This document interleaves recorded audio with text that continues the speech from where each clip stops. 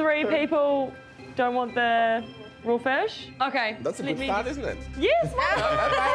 Amazing. The room is lovely, but I don't like these little angels. Okay. They just freak me out. Okay, I can so remove if those. you just can get rid of Yeah, them. of course. It was like a little bit like a horror movie. Oh my god, that's the statue they chose. If you're that bougie, buy your own bloody yacht. Aesha somehow stayed afloat for the first series of Down Under Yes, Captain. Yeah. and is back on board for season two. This time in Cairns, the gateway to the Great Barrier Reef. Welcome to Australia, ladies and gentlemen. There's a brand new crew, You come into the room like you're ready to punch someone, and that's not how it should be on a yacht. more unruly tourists, Why do you guys not understand that I'm lactose intolerant? And for Aesha, a fresh attitude. This season, I'm not going to take any from people. I'm a tough now. Hi. Thanks for having me. Oh, it's so nice to have you here. Ta like these days, do you think of yourself as more of a boat steward or more of a like celebrity reality star? Mm-hmm. You know, I will always be a stewardess at heart, but if I'm being honest, these days I am a bit more of a reality TV star, which I love. All my dreams are coming true.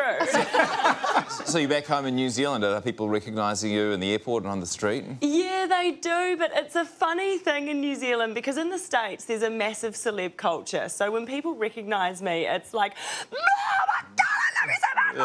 And they're really in my face, like this far away from it. But in New Zealand, people are so much more relaxed that they, they know who you are, but they, they don't want to bother you and say hi. Uh-huh. So you just walk around and everyone's staring at you, which I kind of find worse because, I don't know, just come and say hi. So You're like, have I got something on my nose? Is it- Yeah. What do, what do people What do people want to know when you actually meet fans of the show? What do they ask you? What are they interested in? every single person asks me, is the show real? Yeah. And I just, I really want to take this opportunity to tell people it is real. It's absolutely real. It's the most real reality show you can get. Really? The, the fourth wall is very, very strong on Below Deck. So you can't acknowledge the producers, the cameramen, and you don't need to. We work such long hours with so much stress. Everyone's going to explode on their own.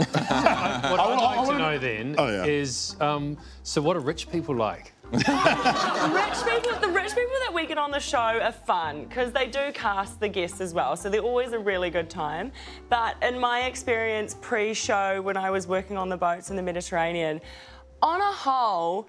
They're just kind of sad, you know. I, I know they say money doesn't buy happiness, and I do believe that because a lot of them are just really paranoid, super small group of friends, and you, they get drunk and they cry. That's I get drunk and cry. Thanks, thanks for that. You just dashed my hopes and aspirations. Yeah. That actually makes me feel so much better hearing that. Yeah. Yeah, because you're so poor. I,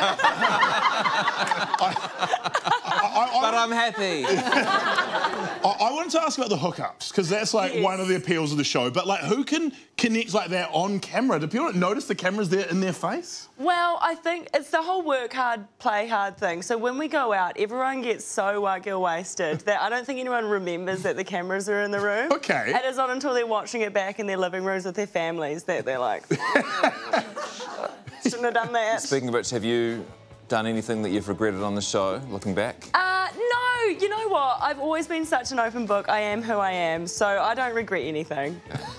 Good for you. Maybe I should, but I don't. What do you reckon is the key to, to being a really good reality TV star?